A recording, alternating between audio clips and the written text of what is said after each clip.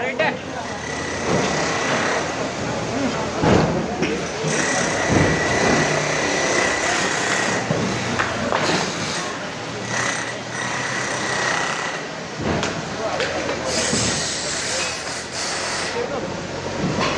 Gracias.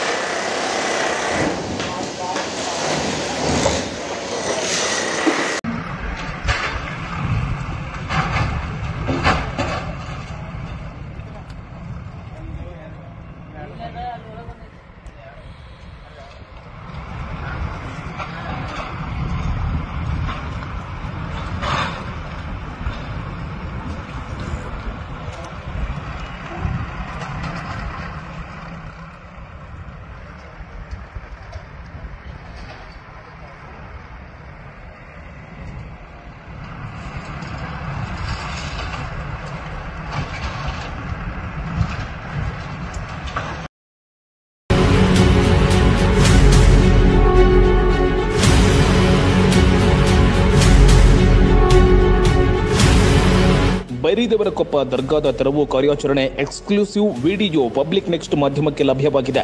ಬೆಳಗ್ಗೆಯಿಂದಲೇ ಮಾಧ್ಯಮಗಳಿಗೆ ಹಾಗೂ ಸಾರ್ವಜನಿಕರಿಗೆ ನಿರ್ಬಂಧ ಹಾಕಿ ಕಾರ್ಯಾಚರಣೆ ನಡೆಸಲಾಗ್ತಾ ಇದೆ. ಮೆಹಮೂದ್ ಶಾ ಖಾದ್ರಿ ಅವರ ದರ್ಗಾವನ್ನ ತೆರವುಗೊಳಿಸುವ ಕಾರ್ಯ ಚುರುಕಾಗಿ ನಡೆದಿದ್ದು, ಎಕ್ಸ್ಕ್ಲೂಸಿವ್ ದೃಶ್ಯಾವಳಿಗಳು ಈಗ ಪಬ್ಲಿಕ್ ನೆಕ್ಸ್ಟ್ ಮಾಧ್ಯಮಕ್ಕೆ ಲಭ್ಯವಾಗಿವೆ.